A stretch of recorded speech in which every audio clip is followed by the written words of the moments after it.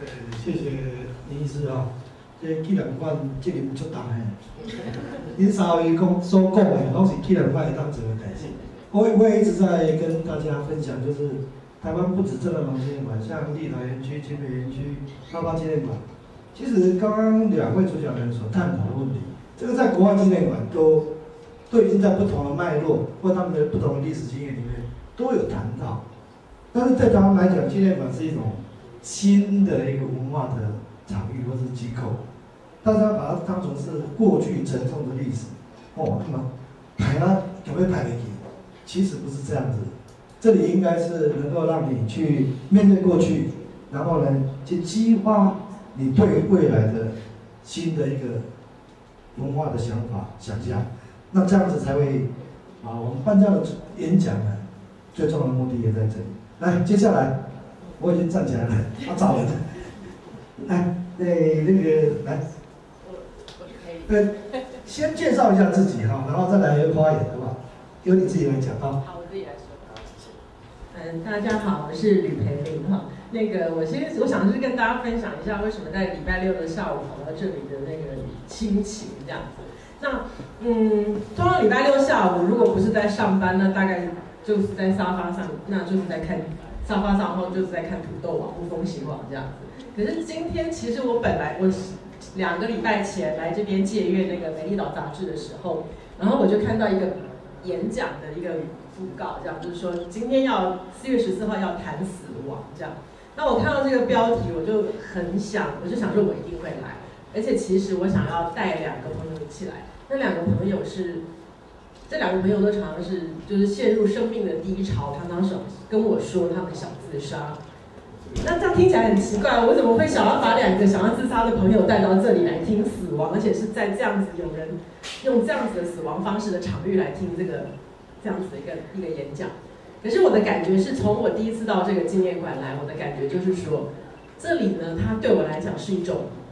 一种热度、生命力的热度的感受，而且那个感觉是很强烈的哈，所以我很希望我这些觉得已经活得没有什么意义的朋友，可以来感受一下生命的那种热度的感觉。这样，那我这些朋友也不是说在生活上遇到了什么重大的挫折，人生怎么样活不下去，也没有。可是我觉得好奇怪，是在这个时，在这个时间点上，就是会有就。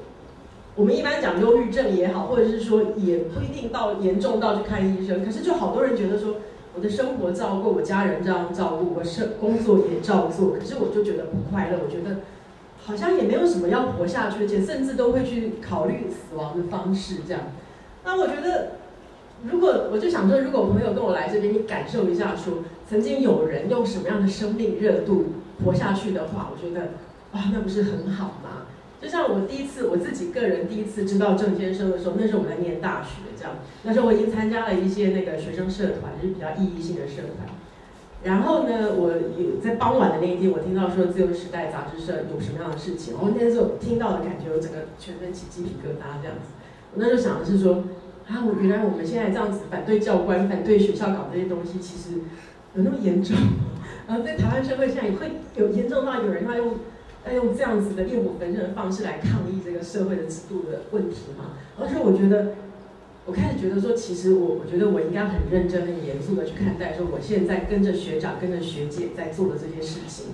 所以我就觉得，那个是我给我一个很大震撼，是说我要对我自己很负责、很负责的去思考说我在做的事情。然后这个印象到上个礼拜在在那个清平台的那个活动。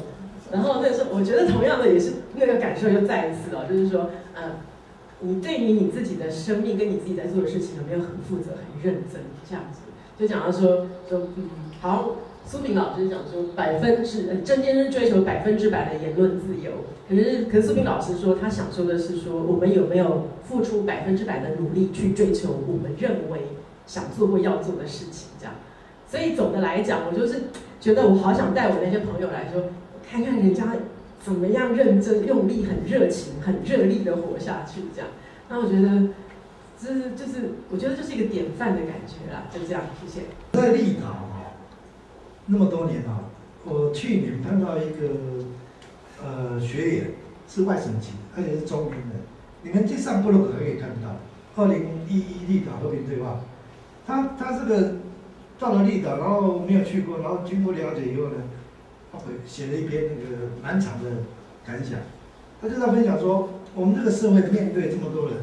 对自己生命没有期待，自杀或种种现象，他说他你们如果来认识这么多过去，呃，我们的前辈他们怎么样子活过来，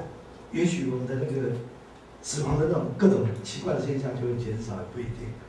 所以，所以就这一点来看啊，这些呃精灵网络研究其实它有很大的能量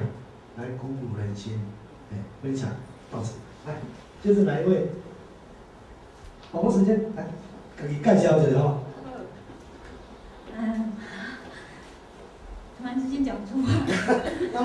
哎，因为我哎，我是昨天从高雄上来开会，但是我特地留到今天准备参加这场座谈会之后再回去。我在高中教历史，那之前我的学生有人做郑南榕先生的研究，然后他们也来过基金会，那我基本也来过。那时候，哎，这这这，我今天要分享是我这场研究当中哈，那时候有找到那当时候来攻坚的侯友谊侯先生，他当时是警大校长。那我们的学生呢，真的是很懂事、很得体的跟他们联络。然后他们的校长室秘书就说呢，可以啊，我们校长看你们什么时候来访问啊，先写个内容给我们，我们再跟你们再做一进一步的联系。可是后来呢，他就说，我们可以先把问题列给他。当孩子呢把这个问题呢用 mail 的方式列给他们之后呢，他就再也没有回讯了。那这这这样的一个一个结果，让我一个感觉就是，像刚刚医师所说的，或者是呢张慧法师所所谈论的。其实我们这整个社会没有自觉的人很多，那没有自觉的人，包括我们的教育，实际上现在已经在教科书里头把这一部分真的是边缘化到对，甚至恨不得把它完全淹没掉。那么多版的教科书当中，只能够找到一两个版本，它在后面的联表里头有郑南榕先生这样的一个，就是郑南榕自焚这五个字，其他在的正文当中几乎也都没有什么提到提到关于这一类的。所以我觉得在这个部分，就不晓得我们应该可以做什么。我们除了对基金会可能会说说哎赞助或者是怎么样这样的一个比较间接性的一个动作之外，我们可不可以有积极的去透过教育或者是透过这些怎么样的一个管道，让下一代的人更能够更清楚呢？因为侯友宜先生，我觉得他不回应我们，实际上是因为他没有醒思过他过去他自己在那个职务上所做的这一些事情，他不敢去面对，所以他他像他他。大概对于当时他自己的角色，他没有办法跟学生谈，所以他干脆就选择呢，就静默下来，没没有回应这样。那我在想，现在的当选者实际上也是如此。而且呢，之后所谓刚刚那个张文法师所提到的一百课纲，接下来就是高中的历史变成中国史多了半册，要上一点五册，那减少的是世界史的部分，台湾史当然没有变。可是，在这样的一个一个。一个折冲当中，实际上是政治强力介入的一个结果。那在这个结果里面呢，我们也可以看到，所有的高中的历史教师大部分也都是认同的，因为他们认为在养成的过程里头，那对中国史实际上是比较比较有东西可以上的。所以，我我的我的意思也就是说，其实强政治强强力介入教育的一个结果，让我们这样的一种。